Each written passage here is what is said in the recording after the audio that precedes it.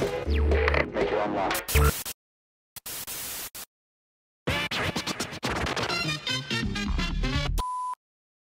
We got to meet some pretty cool people on the ice today.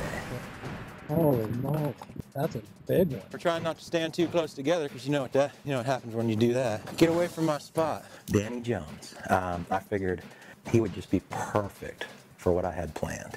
Okay, ice fishing is a, a sport where it doesn't cost a whole lot of money. I mean, anybody can do this, spend a little tiny bit of cash, go out and catch a bunch of fish and have a good time. We're gonna go ask some people uh, if we can borrow some stuff. You know, you don't even need to buy, you probably don't need to buy an auger. You probably, the, the big dollar stuff, you probably don't even need to buy. You can just ask people. You think that'll work? We're gonna find out. Or maybe we can borrow a maggot. All right. I'm trying to save you some money. The people out there on the ice, every single one we talked to was so generous and willing to help. Excuse me. Yeah. Can I borrow your auger? Oh, go right What about a maggot? Can we get a maggot from you? I think we got a mealworm. Oh, we take a mealworm. You want a mealworm? Yeah. All right. There you go. All right, Free mealworm. that's right. Saving you money. This week on Erie Extreme. Can I borrow your auger? Yeah, to drill a hole. Yeah.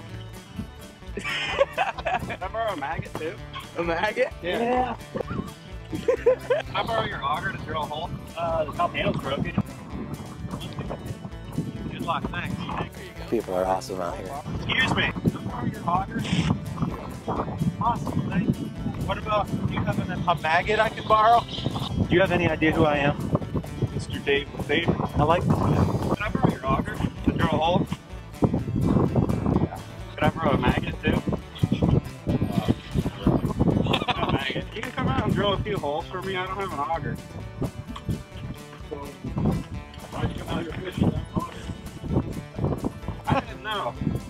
It's my, it's my first time. I thought I could get a stick off the shoreline and hit it through, but it didn't work. Glad I did my hair this morning.